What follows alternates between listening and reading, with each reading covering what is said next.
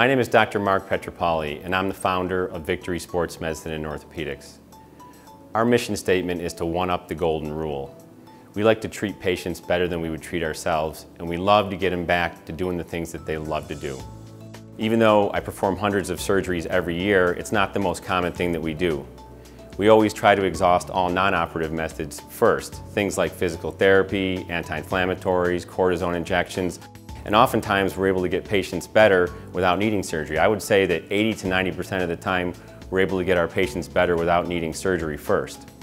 Because we know our patients' time is very important to them and they appreciate convenience, we at Victory Sports Medicine and Orthopedics like to think of ourselves as a one-stop shop. Some of the services that we offer include the latest digital x-ray, diagnostic and therapeutic ultrasound, open MRI, physical therapy, athletic training services, strength and conditioning services, injury and fall prevention services, as well as nutrition and wellness services.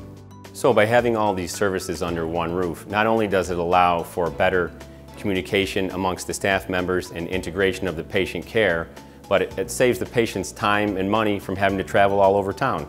I think that when patients come here, what they first realize is they're being listened to.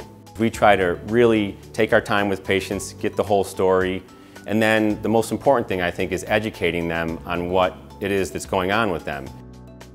Everyone's just wonderful. They pay attention and they listen to you. And if you have issues, they handle them. And they try to make you feel very comfortable. Well, the atmosphere here at Victory Sports is different than any other office I've ever been to because everyone knows you and you never have to wait very long at all to get in for your appointment. Um, you don't sit in the waiting room for a long time. And when you come in, they all say hello, they give you a hug. And from the very beginning, he, I, I had complete confidence in him, both as a physician and as a sympathetic, caring doctor. My son comes here, my daughter comes here, my sister comes here, and my niece comes here, and my mother comes here.